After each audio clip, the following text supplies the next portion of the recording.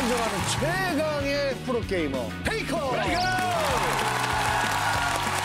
나는 오늘 이분을 이름도 처음 들었고 처음 봤는데 방송 역사상 첫 출연이에요. 아 진짜. 예. 저는 이제 SK텔레콤 T1에서 LOL 리그 오브 레전드 프로게이머로 지금 활동하고 있는 아롤 페이커. 그게 네. 롤이죠? 네, 그렇죠. 네. 그리고 지금 10대, 20대들 사이에서 가장 유명한 게임이에요.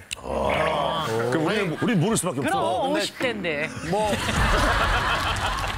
게임 좋아하는 친구들의 우상이지. 뭐. 우상의 우상. 예. 대한민국 대표 mid 전 세계 최고의 mid 중에 한 명으로 꼽히고 있는 바로 이 페이커 SKT T1은 정상에 올라 대회 사상 첫 2년 연속 우승을 달성했습니다.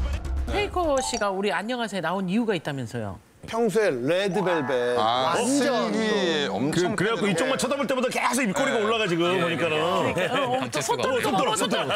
페이커 손 뜨는 거 봤어요? 슬기 씨 팬이라고 막. 조이도 당연히 좋아. 저희도 좋아. 네, 당연하죠. 당연히. 예.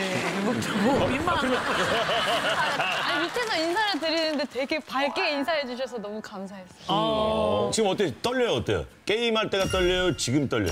어, 솔직히 게임할 때가 좀 더 떨리는 것 같고요. 되게 솔직한 애구나. 서든 씨가 페이커랑 친하다고. 광고 촬영을 처음에 하, 하다가 만났었는데 페이커가 온다고 들어가지고 한 시간 일찍 가서 기다리고 있었어요.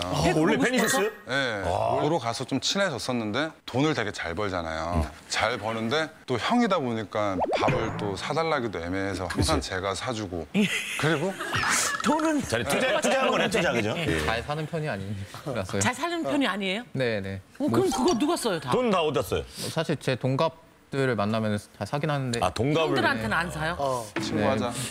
아, 그럴까요? 쭉 페이커 얘기를 들어보니까 친구 없죠? 왜 대답 안 해줘요? 친구 없죠?